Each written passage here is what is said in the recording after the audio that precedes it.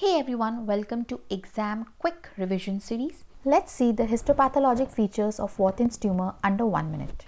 Microscopically, it is very characteristic. There are two histologic components. There's an epithelial component and a lymphoid component. So it's an adenoma that is it is a benign tumor of glandular tissue origin showing cyst formation as you can see there are multiple cysts with papillary projections into cystic spaces and a lymphoid matrix showing germinal centers.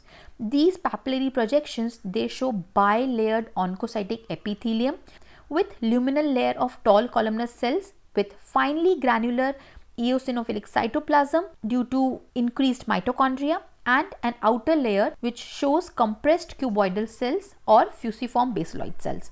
The cystic cavity frequently shows eosinophilic coagulum. For detailed lecture, visit my channel